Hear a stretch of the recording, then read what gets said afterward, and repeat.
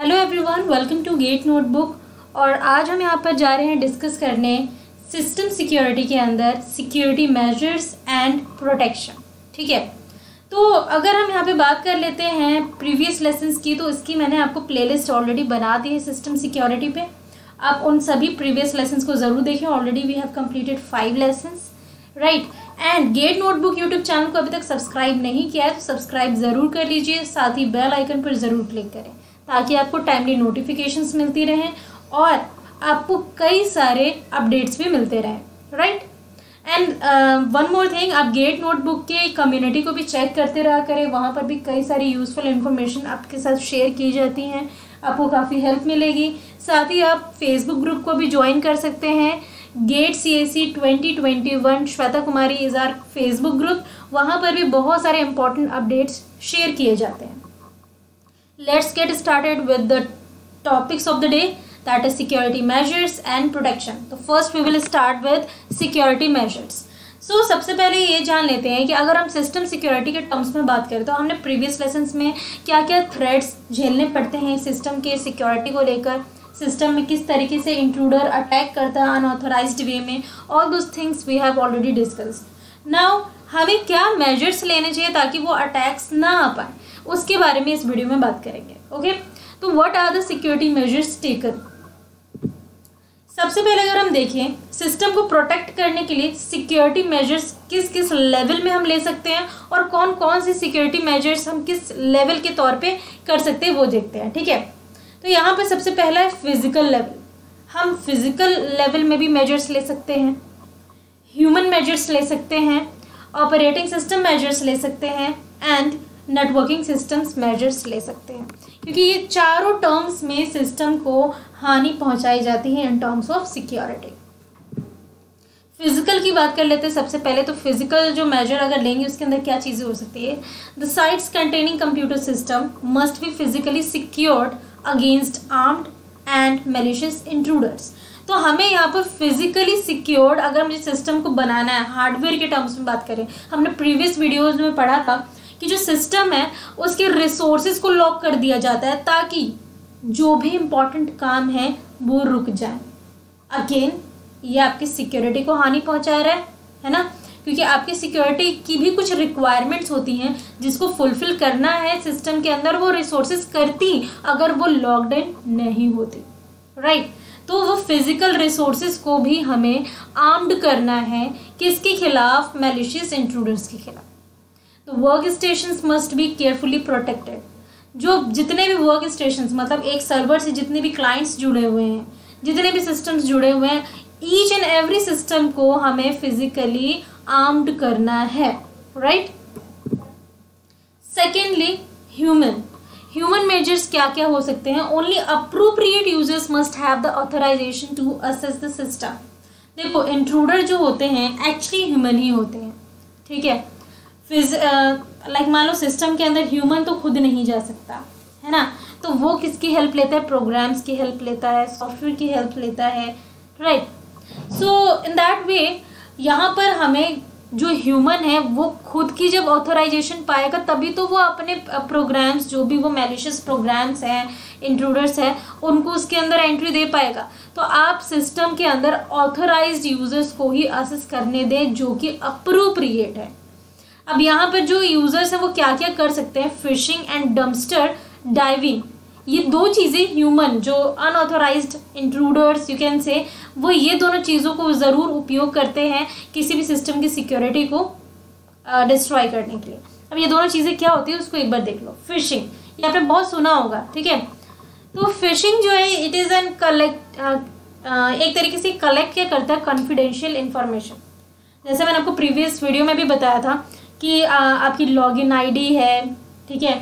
अब लॉगिन करते हैं रजिस्टर करते हैं जो भी इंफॉर्मेशन है वो आपने अपनी डाल दी मोबाइल नंबर हुआ मेल आईडी हुई है ना?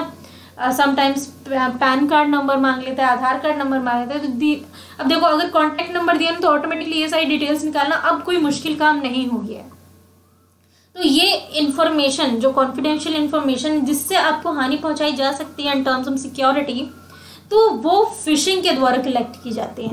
नाउ नेक्स्ट डम्स्टर डाइविंग क्या होता है? सो कलेक्टिंग बेसिक इन्फॉर्मेशन ठीक है? कॉन्फिडेंशियल इंफॉर्मेशन कलेक्ट करना phishing but the basic information को जब कलेक्ट करने की बात की जा रही है so as to gain unauthorize access ठीक है? बेसिक इंफॉर्मेशन से कोई यूज़र आपके प्रोफ़ाइल में असेस कर सकता है। लाइक like, फेसबुक में भी हम बेसिक इंफॉर्मेशन ही शेयर करते हैं राइट right? तो उसके ज़रिए भी आपकी प्रोफ़ाइल में कहीं ना कहीं वो असेस कर पा रहा है। That is dumpster diving then third security measures जो है वो ऑपरेटिंग सिस्टम के टर्म्स में बात करेंगे। The system must protect itself from accidental and purposeful security breaches operating system क्या है? तो हमने पहले पढ़ा हुआ है कि एक सिस्टम के अंदर सॉफ्टवेयर एंड हार्डवेयर दोनों चीज़ें होती हैं। How they interact how a user end user we can say I मैं क्लाइंट हूँ, मैं एक एंड यूज़र हूँ। How I interact with the system it is only done by operating system. Without operating system, we can't interact with any system, right? तो एक तरीके से जो भी कॉपरेशन कह सकते हैं कोऑर्डिनेशन ठीक है? एक तरीके से कम्युनिकेशन इंटर एक तरीके से इंटरडिपेंडेबिलिटी बन जाती है कहीं ना कहीं ऑपरेटिंग सिस्टम एक सिस्टम का। तो ऑपरेटिंग सिस्टम को हानि पहुँचा कर भी उसकी सिक्योरिटी को भी ब्रेक करके सिस्टम के सिक्योरिटी को हानि पहुंचाई जा सकती है। तो ऑपरेट ऑपरेटिंग सिस्टम में किसी भी तरीके की एक्सीडेंटल एंड पर्पसफुल जो सिक्योरिटी ब्रीचेस है, वो ना हो, उससे प्रोटेक्ट करना इंपॉर्टेंट है। नेटवर्किंग सिस्टम की बात करें तो almost all of the information is share between different systems via network आजकल तो सबसे इंपॉर्टेंट हो गया नेटवर्क अगर दो मिनट के लिए नेट बंद हो जाता है तो ऐसा लगता है कि कहीं ना कहीं सांस रुक गई है, काम रुक गया है राइट तो सिस्टम जो है कहीं ना कहीं नेटवर्क पे पूरी तरीके से डिपेंडेंट हो चुकी है, जुड़ चुकी है। एक सिस्टम जैसे ही नेटवर्किंग से जुड़ता है, उसकी इन्फॉर्मेशन भी नेटवर्क के अंदर आने लगती है। एक सिस्टम दूसरे सिस्टम से अपना जो इन्फॉर्मेशन है है ना, वो शेयर करते रहता है वाया यूजिंग अ नेटवर्क तो intercepting these data could be just as harmful as breaking into a computer तो वो डेटा एक जगह से दूसरी जगह जा रहा है लाइक मान लो एक सिस्टम सिक्योर्ड है बट अनदर सिस्टम ठीक है, जिस पे हम डेटा भेज रहे वाया नेटवर्क वहाँ पर कुछ ना कुछ लाइक मान लो कोई इंट्रूडर है अनऑथोराइज असेस है तो नेटवर्क के ज़रिए वो दूसरे सिस्टम को भी असेस कर सकता है राइट right? वो हार्मफुल हो सकता है. And henceforth network should be properly secured against such attacks अगर हम उस नेटवर्क को ही सिक्योर कर लें तो दोनों के दोनों सिस्टम भी सिक्योर हो जाएँगे.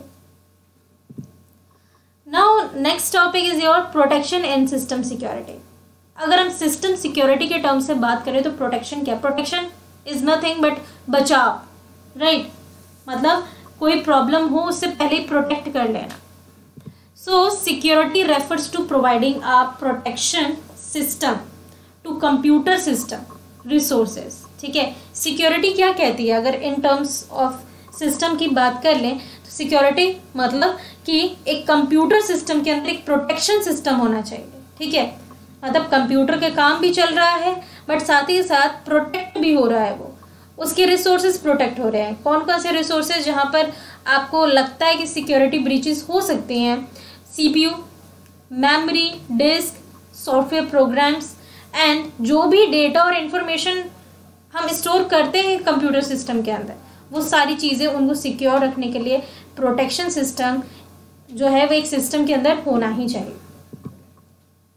If a computer program is run by an unauthorise user अब एक कंप्यूटर है कंप्यूटर को तो पता नहीं है कि वो यूज़र मेरे लिए ऑथोराइज है कि अनऑथोराइज है। उसको तो बस जो भी इंस्ट्रक्शन मिलता है, वो उसको फॉलो करता है है ना? तो अगर कोई अनऑथोराइज यूज़र सिस्टम प्रोग्राम को रन कर रहा है then he or she may cause severe damage to computer और डेटा स्टोर इन इट है ना? वही तो इंट्रूडर होगा। तो यहाँ पर इसी तरीके से आपका प्रोटेक्शन होता है कि प्रोटेक्शन इन सभी डेटा को कंट्रोल करता है प्रोटेक्शन प्रोवाइड करता है, ताकि कोई अनऑथोराइज यूज़र जो है वो कंप्यूटर प्रोग्राम को यूज़ करे। उससे पहले सिस्टम जो है वो समझ जाए कि कौन मेरे सही है, कौन करे अब यहाँ पर हम ओवर